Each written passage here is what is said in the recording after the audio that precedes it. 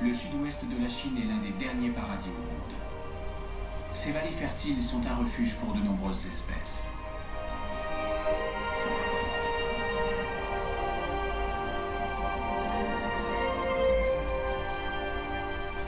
Ces ressources importantes en eau sont une source de vie, et ces montagnes sont des remparts pour les espèces menacées.